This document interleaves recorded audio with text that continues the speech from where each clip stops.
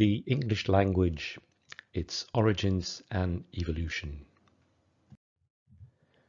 When we look at the evolution of English through the ages, generally three stages are recognized.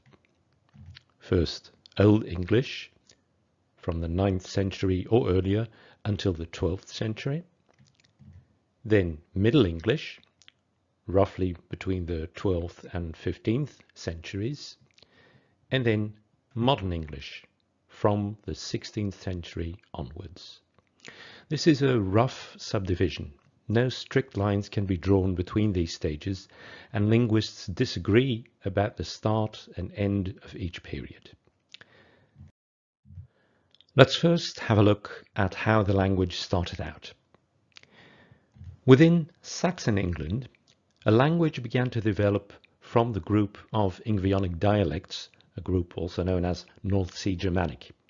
It was a group that included, among others, Old Frisian and Old Saxon.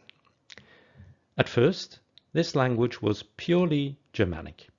There was hardly any influence from the Celts who had been driven out. Influence from Latin, however, did start pretty early, from what remained of Roman influence and more importantly through religion. Christianity had arrived in England as early as the end of the 6th century.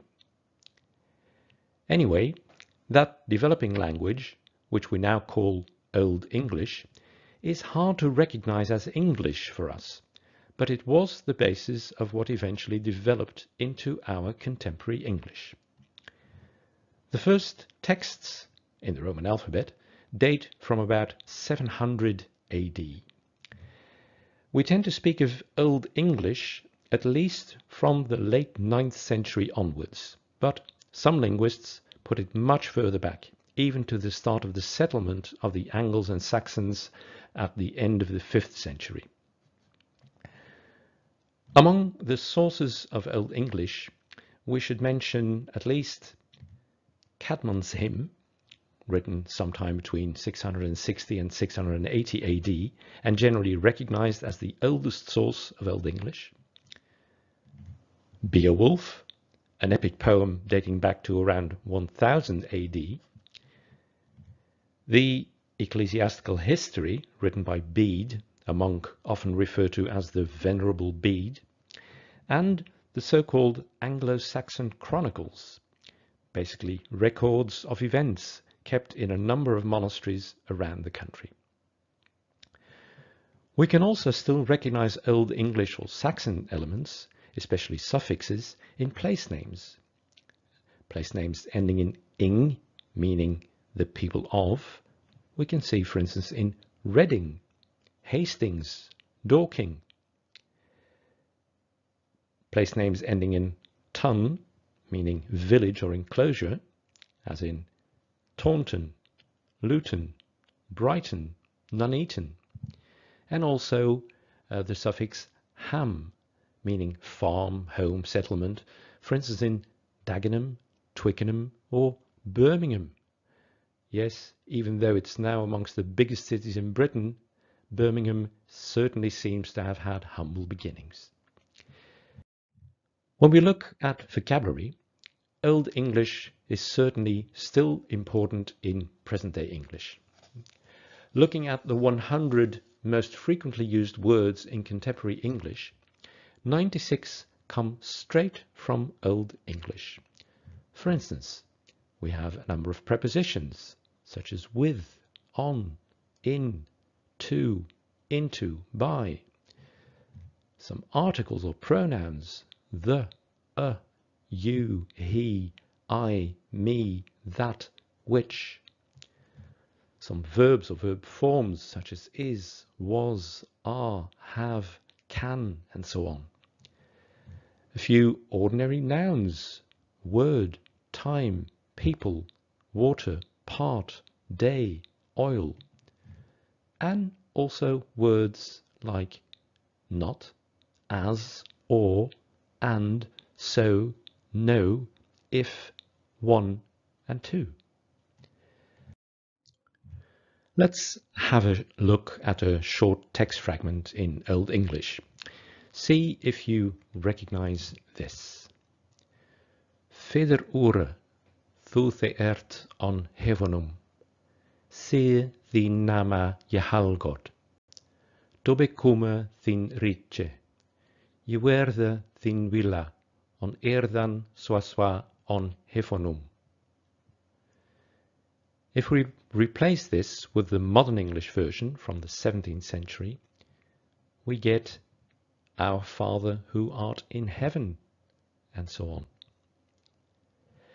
What you see in the Old English text is partly recognizable, but many elements, and also the pronunciation, probably remind you more of German or Dutch than of English. Look at words like Jehalgod and compare that to German or Dutch geheiligt, geheiligt, or the word gewerde, Dutch geworden, or in the second line, see, very similar to the Dutch zij. In order to give you a really good idea as to what Old English probably sounded like, listen to this recording of an extract from the epic poem Beowulf. Was madma fella of fair wegum frat wa je ladded. De huurde ich cumli cor chill je jirwan hilde wapnum und helde wadum billum and birnum. Him und bear me leg madma manigo ta him mid schuldon und flodes echt fair je weetan. You would never think this was a form of English, would you? In 1066, the Normans conquered England and they brought French with them. Within a very short time, French became the language of the court and more importantly also of all important institutions, swamping Old English with French vocabulary. French basically became the official language, pushing Old English into the background.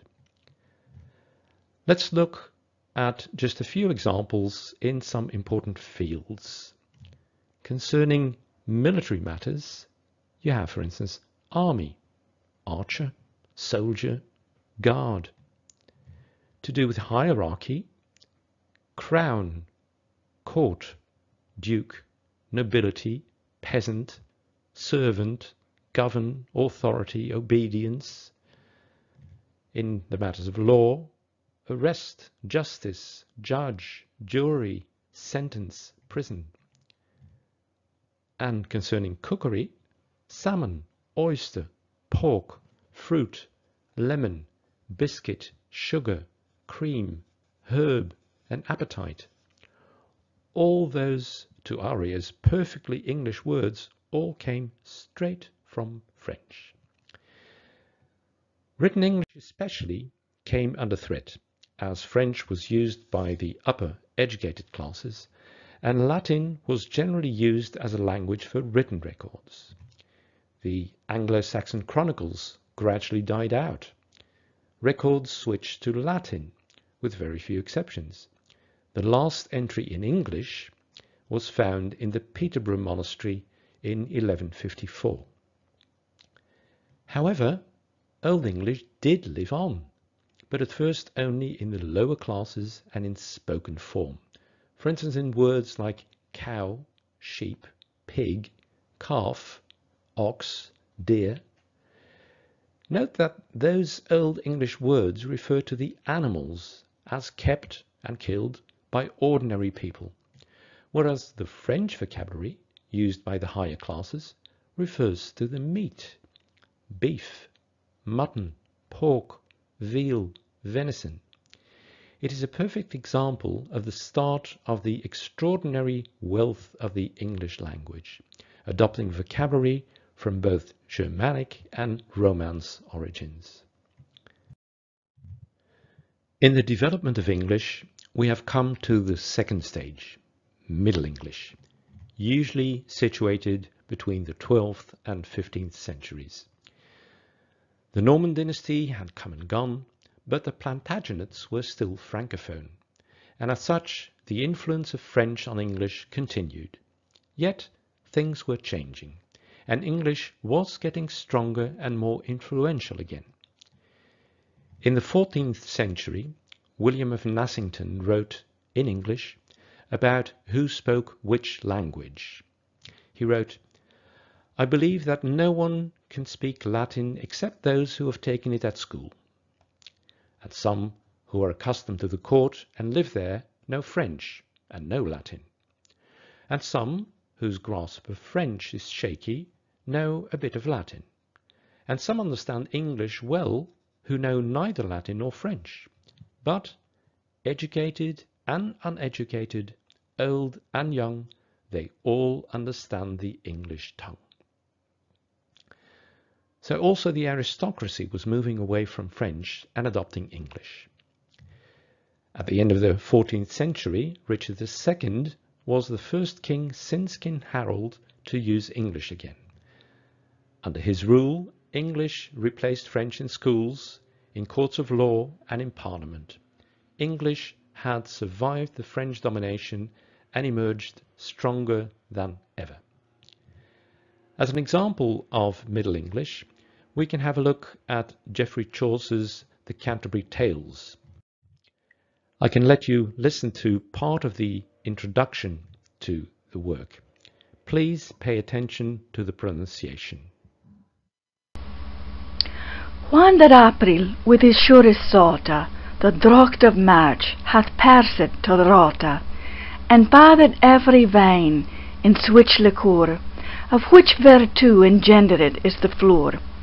One Zephyrus egg with his sweet breath inspired hath in every halt and heath, Tender Cropus, and the younge Suna hath in the ram his halve corsirona, and smale Fulus maken melodie, that slepen all the night with open ear, so pricket hem natuur in hier courages, dan longing folk to gon on pilgrimages, and palmeres for strange strondes, to ferne halwes, couth in sundry londes.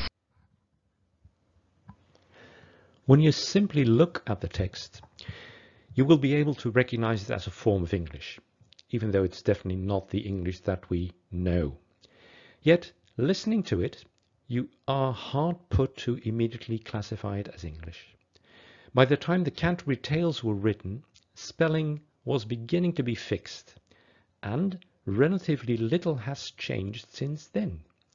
But as far as pronunciation is concerned, great changes have taken place since the end of the 14th century. Putting the two next to each other, you may now recognize where some of the strange spelling in English comes from. Think, for instance, of night, about two-thirds into the text.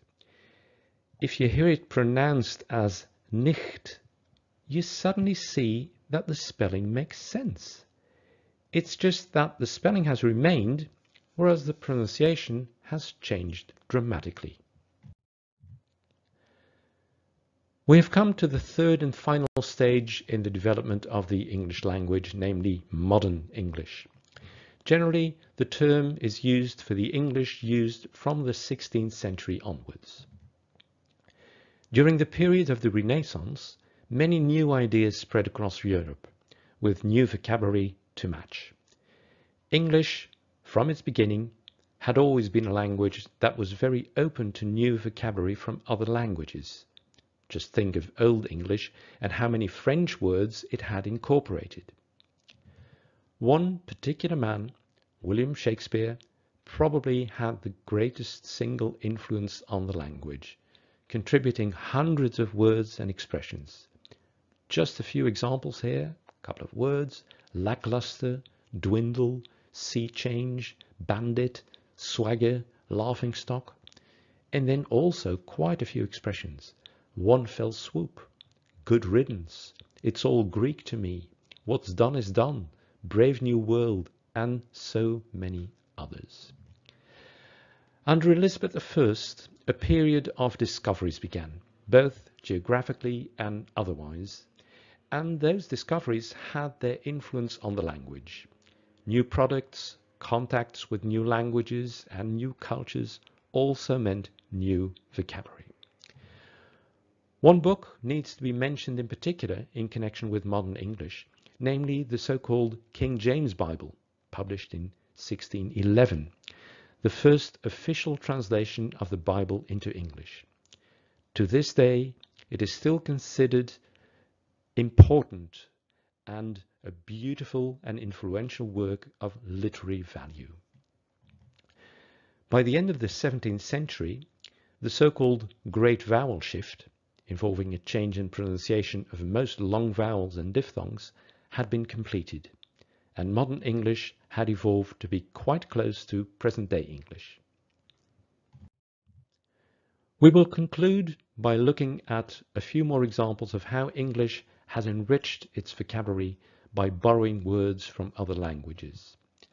As I said before, the Renaissance and the Age of Discoveries, followed by the expansion of the Empire, opened up many opportunities for the languages to embrace loanwords. These are just a few examples. From Spanish and Portuguese, English borrowed embargo, apricot, tornado, banana, mosquito, tobacco. From Italian, we got opera, violin, cameo, volcano. From Dutch, English borrowed smuggle, landscape, keelhaul, knapsack, yacht. From Arabic, we got alcohol, harem, chic. From Malay, we got bamboo and amok. From Turkish, words such as coffee and kiosk. From Persian, we got assassin, checkmate, bazaar, and jackal. And we could give many more examples. English, obviously, has not stopped evolving. Like any living language, it changes every day. And in the future, linguists may well recognize further stages in its development.